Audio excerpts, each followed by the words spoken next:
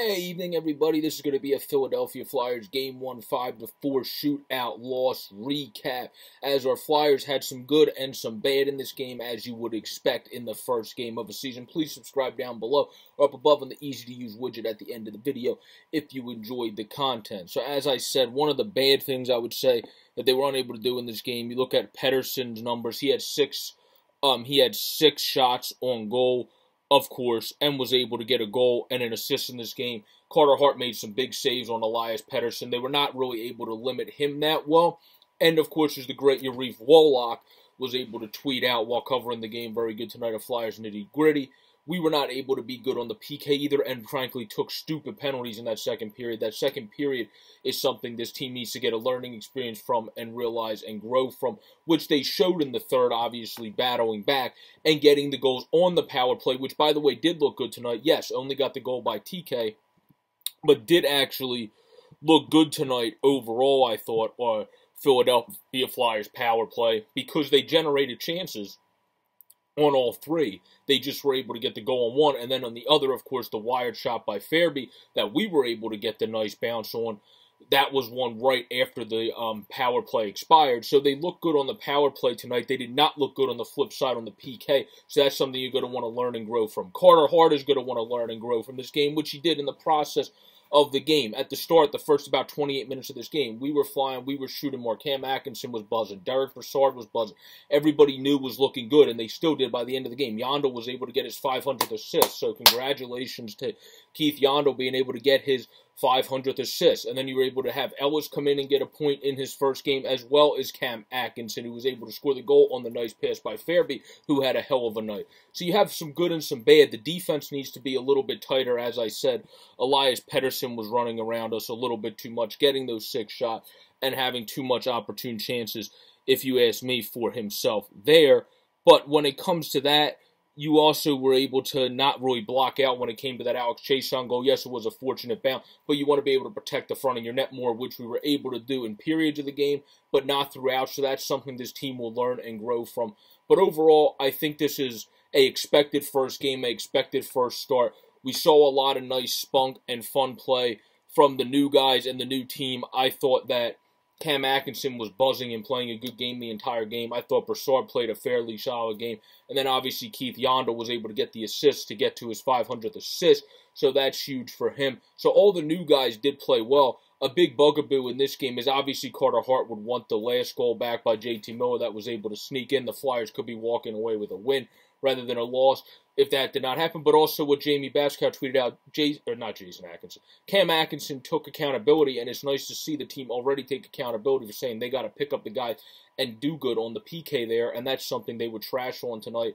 That is the um, loser of the game is the penalty kill, where the MVP of the game would actually probably be all the new guys for actually contributing and playing well. Even a guy that didn't get on the stat sheet, Derek Brassard, seemed to look good out there where they were able to fuel the offense well, other than Joel Farabee, who had a great game himself, and G able to capitalize at the end.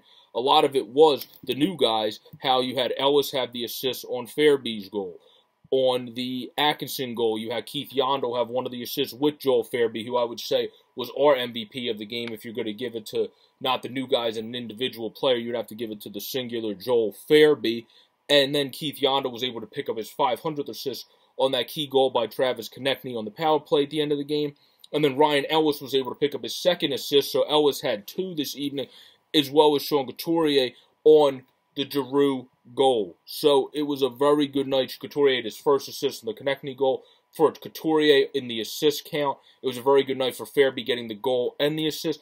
And then Cam Atkinson was buzzing the entire night. TK was chirping. So I think there's a lot of good signs in this game. It's just Carter Hart is going to want to be a little bit better, more positionally. The one goal by Pettersson obviously was a bad bounce, but as people said, you want to be guarding the post a little bit more there, then that still wouldn't bounce off of you to happen. But it's still, I give those just the two fluky goals that happened. He's going to want the one of those fluky goals definitely back. The Chiasson one was just we allowed him to get in front. You got to box him out a little bit better. And then there was a fortunate bounce. But my final points in this video, my three final points are you got to work better on the PK. The PK's got to get churning. The PK's got to look better. And if that happens against the Kraken, the new expansion team that we play on Monday, I think the Flyers will win that game. I will do obviously a preview for that game as it gets closer to that game on Sunday night or Monday morning. And then the second thing is keep doing what you're doing offensively for about the first 28 minutes and about the last eight minutes when the Flyers started pushing back and looking good and getting some chances and being able to eventually tie this game up with the Giroux and TK goal. Have that more shooter mentality that we saw in this game, led by Cam Atkinson and led by the new guys, led by Yandle and led by Ellis, just getting it through simply from the point with wrist shots and not slamming it into someone's leg like we used to do in past year. So the team kept it more simple. They had more of a shooter's mentality. They generated more chances. That's all great signs. Now we just need the defense to be a little bit tighter, and we need the PK to be a lot better, and then we would be set. So I think this is an expected first game. You got good and bad, and I think you expect that in game one of the season. You don't expect everything to go great, particularly when you have a very new roster, and then you have to dip into the depth guys in game one because of injuries. So I think all things considered, this was a good game moving forward. Carter Hart, Carter Hart adjusted throughout the game, had a pretty good third period, had a fantastic overtime in order to get the Flyers into the shootout. And then, as always, our Flyers are infamous losing in the shootout.